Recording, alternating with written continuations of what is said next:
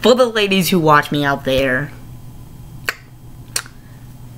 I'm not proud to say this, but I just reviewed the story of menstruation. Before you kill me, before you throw your pitchforks or whatever, let me explain.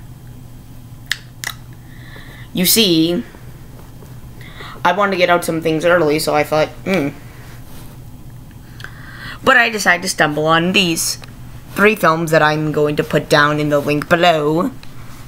All I'm going to say is, if you guys don't like it, then please, please, please, please, please, please, please tell me below what I should review instead. Just saying. Just asking. And I had no idea how hard it was for teenage women. Ugh. All I can say to this is, I'm sorry. That's it. Bye.